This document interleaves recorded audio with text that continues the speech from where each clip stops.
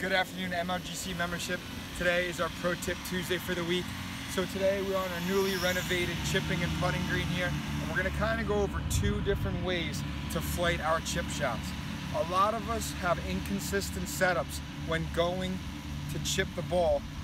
And today what we're gonna do is kind of work on two ways to look at our shots. The first one we're gonna do is we want a little bit of a lower shot that just kind of bump and run for us. So what I'm gonna do is as I address the ball, I'm gonna put this ball more towards the back of my stance and I'm gonna have my hands just ahead of the golf ball to allow me to have a lower flight into the hole. So if you see there, the ball came off low. Now, if I gave us a little bit different of an obstacle, if I go just over this left side here, I'm gonna want something that gets a little bit more up in the air, so I'm gonna play more towards my front foot now. So I go to adjust the ball, play it more towards my front foot.